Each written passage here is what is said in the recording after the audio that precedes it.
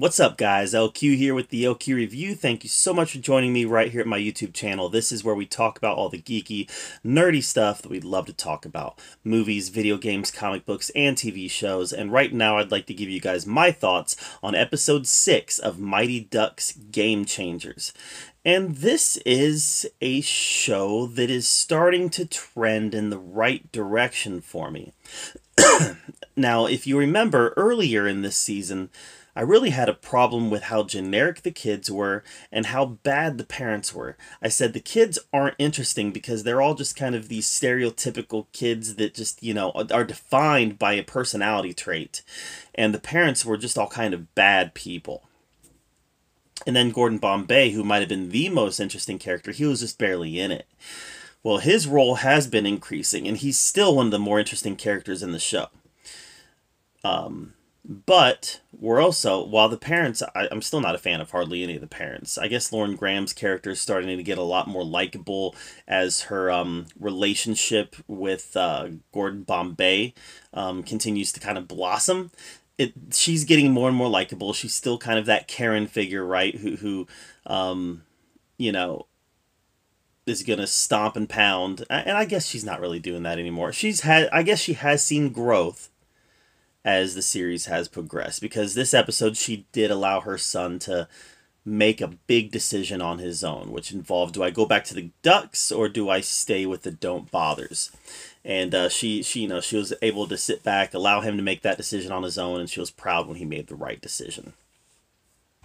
But this episode was like one of the, the more hyped episodes coming into this uh, this series because it brought back excuse me, it brought back the kids from the original movie.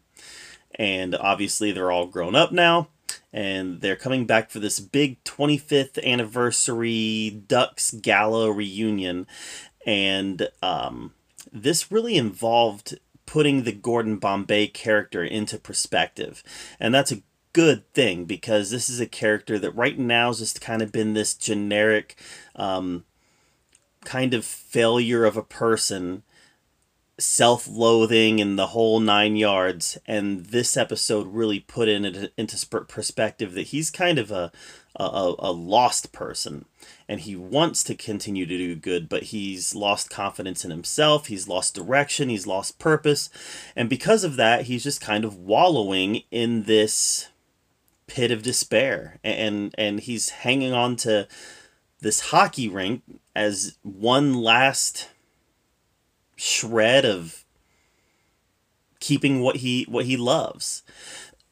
and now he's got this team practicing on his ice called the Don't Bothers that you know, obviously he's kind of getting in tight with mom, but at the same time he's seeing that there's the potential to have purpose again. And nothing brought that to light more than having dinner with his original team from the first movie.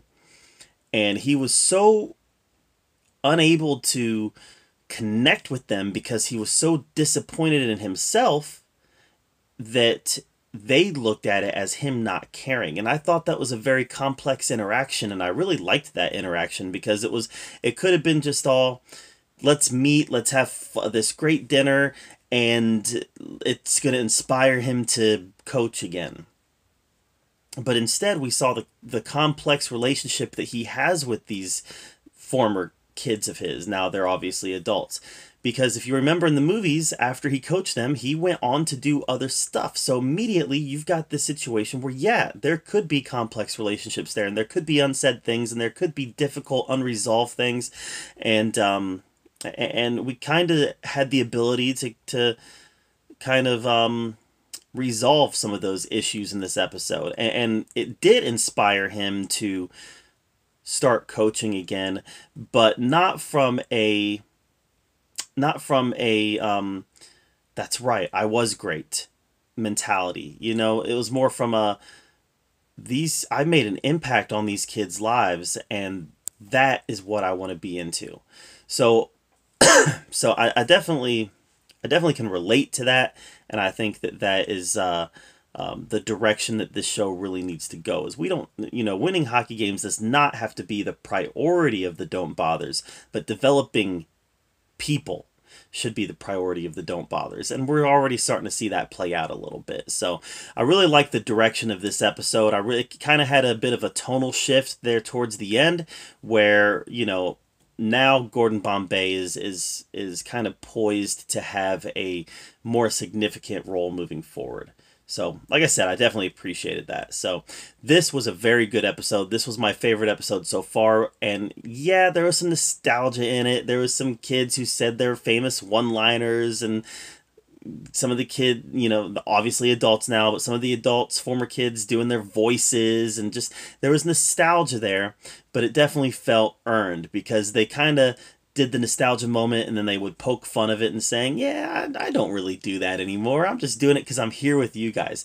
And like I can relate to that too. If I get together with a bunch of my buddies from high school, things that I don't do anymore that I did in high school might come out again because I'm there with them and it's it's just it's like a muscle memory. It just comes out again. So again, I can relate to that as well. So very strong episode here. I really liked it a lot, and uh, by far my favorite episode so far. And it's not just nostalgia talking, but it really brought up some complexities that um, that, that it, it advanced the form of storytelling that we got with the Mighty Ducks Game Changers, and I definitely appreciated that. So, what did you think of episode six of Mighty Ducks Game Changers? Let me know in the comments down below. I'd love to hear your take on it while you're down there commenting, make sure that you subscribe to my channel.